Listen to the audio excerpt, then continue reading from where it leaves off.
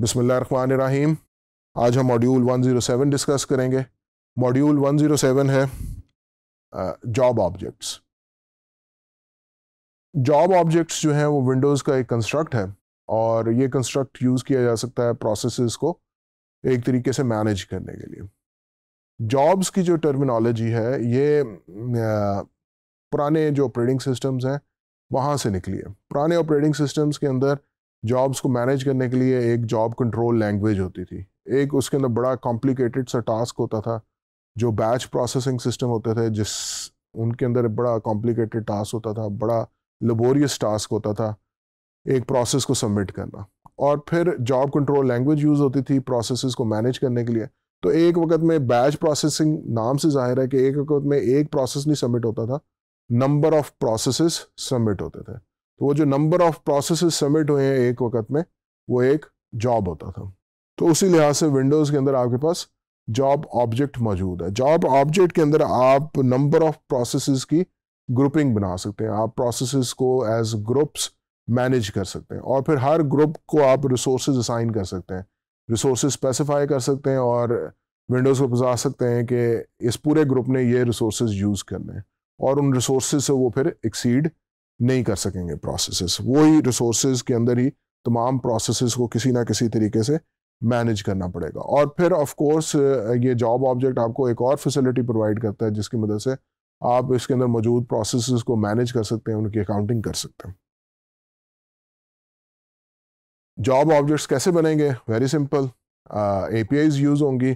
कौन सी A P I use होगी? क्रिएट जॉब ऑब्जेक्ट की ए पी आई यूज़ होगी जॉब को क्रिएट करने के लिए। और अगर आपके पास पहले से नेम्ड ऑब्जेक्ट मौजूद है तो उसकी मदद से आप ओपन जॉब ऑब्जेक्ट्स की एपीआई यूज़ कर सकते हैं और उसकी मदद से आपके पास जॉब ऑब्जेक्ट का एक रेफरेंस आ जाएगा ऑब्जेक्ट आ जाएगा। और जब आपको जॉब ऑब्जेक्ट की ज़रूरत नहीं है तो क्लोज हैंडल की मदद से जिस तरह प्रीवियसली हम करते रहे क्लोज हैंडल की मदद से आप इस जॉब ऑब्जेक्ट को क्लोज कर सकते हैं। इसके बाद जब आप एक ऑब्जेक्ट क्रिएट कर लेते हैं जॉब ऑब्जेक्ट क्रिएट कर लेते हैं और आपने एक प्रोसेस क्रिएट किया, उस प्रोसेस को आपने उस जॉब के साथ असाइन करना है। एक जॉब ऑब्जेक्ट के साथ आप कई सारे प्रोसेस एसोसिएट कर सकते हैं। तो एक आपने अगर जॉब पहले ऑब्जेक्ट बनाया, फिर आपने एक प्रोसेस क्रिएट किया। अब जो आपने प्रोसेस क्रिएट किया उसको आपने इस जॉब के साथ एसोसिएट करना है तो उसके लिए भी ए मौजूद है। Assign process to job object तो इसकी मदद से आप जो भी एक प्रोसेस आपने क्रिएट किया उस प्रोसेस को स्पेसिफिक जॉब ऑब्जेक्ट के साथ एसोसिएट कर सकते हैं। फिर इसके अलावा जब आप इन जॉब ऑब्जेक्ट्स को हैंडल कर रहे हैं तो आपको दो तीन चीज़ें जहन में रखनी पड़ेंगी कि वंस अगर एक प्रोसेस को आपने एक जॉब ऑब्जेक्ट के साथ एसोसिएट कर दिया तो उसकी एसोसिएशन जो है, वो चेंज नहीं कर सकते। वो किसी और जॉब ऑब्जेक्ट को फिर असाइन नहीं किया जा सकेगा प्रोसेस फिर जो प्रोसेस एक सर्टन जॉब ऑब्जेक्ट को असाइन हुआ हुआ है, उसके जितने भी चाइल्ड बनेंगे चाइल्ड प्रोसेसेस बनेंगे, वो बाय डिफ़ॉल्ट उसी जॉब उस प्रोसेस के जॉब ऑब्जेक्ट के साथ एसोसिएट होंगे। यानी कि एक जॉब ऑब्जेक्ट है, उसके अंदर आपने एक प्रोसेस को प्लेस कर दिया, अब इस प्रोसेस ने आगे कई चाइल्ड प्रोसेसेस निकाले चाइल्ड प्रोसेस स्पॉन किए हैं क्रिएट किए हैं। अब जितने भी इनके चाइल्ड प्रोसेस हैं, उनको आपको असाइन करने की ज़रूरत नहीं टू दिस जॉब ऑब्जेक्ट वो बाय डिफ़ॉल्ट इसी जॉब ऑब्जेक्ट के साथ एसोसिएट हो जाएँगे।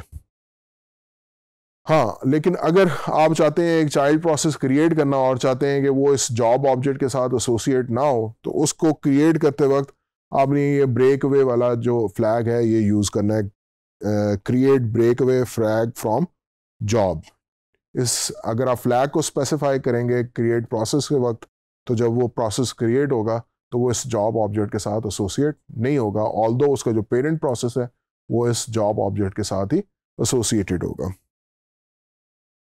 फिर वंस आपने इस तरह से एक जॉब ऑब्जेक्ट बना लिया, उसके साथ प्रोसेसेस भी एसोसिएट कर लिया अब आप उसके साथ उस जॉब ऑब्जेक्ट को कंट्रोल करना चाहते हैं, उसको जो रिसोर्स हैं उनको कंट्रोल करना चाहते हैं तो ये काम करने के लिए देखते हैं कौन सी ए यूज़ होगी। तो ये ए है सेट इंफॉर्मेशन जॉब ऑब्जेक्ट इसके अंदर आप देख सकते हैं मुख्तलिफ़ पैरामीटर्स हैं। पहला पैरामीटर जो है दैट इज़ द हैंडल ये हैंडल किस चीज़ का जॉब ऑब्जेक्ट का हैंडल है। जब आपने जॉब ऑब्जेक्ट क्रिएट किया था, तब आपको जो हैंडल मिला था। फिर जॉब ऑब्जेक्ट इंफॉर्मेशन क्लास है। जॉब ऑब्जेक्ट इंफॉर्मेशन क्लास मुख्तलिफ़ क्लासेज हैं। आप इनकी detail M S D N के अंदर दे सक, देख सकते हैं। इन क्लासेस के अंदर मुख्तलिफ़ पैरामीटर्स डिफ़ाइन हुए हुए हैं कि कौन सी स्पेसिफिक लिमिट्स आपने अगर डिफ़ाइन करनी है तो उसके अकॉर्डिंगली कौन सी क्लास आप यूज़ करेंगे। ये क्लासेस किस चीज़ की लिमिट्स को डिफ़ाइन करती हैं? आमतौर पे ये पर प्रोसेस टाइम कि हर प्रोसेस को कितना टाइम मैक्सिमम मिलना चाहिए? वर्किंग सेट लिमिट कि वर्किंग सेट उसका कितना बड़ा होगा, यानी कि जो उसके नंबर ऑफ़ पेजेस मेमोरी के अंदर आते हैं, वो कितने बड़े होंगे? लिमिट ऑन एक्टिव प्रोसेसेस यानी कि एक जॉब के अंदर नंबर ऑफ़ प्रोसेस उनमें से कितने एक्टिव हो सकते हैं?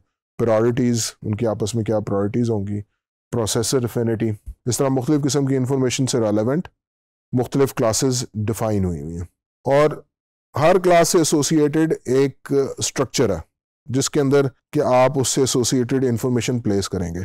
L P job object information जो है इसके अंदर आ, ये बेसिकली उस स्ट्रक्चर का रेफरेंस होगा उस स्ट्रक्चर का एड्रेस होगा। तो ये एक स्ट्रक्चर नहीं है ये हर क्लास इस क्लास की डिटेल अगर आप एमएसडीएन में से देखें तो हर क्लास की अगेंस्ट एक स्ट्रक्चर होगा। उस स्ट्रक्चर के अंदर आप इंफॉर्मेशन प्लेस करेंगे और उस स्ट्रक्चर का जो एड्रेस है वो आप यहाँ पे स्पेसिफाई करेंगे L P job object information के अंदर।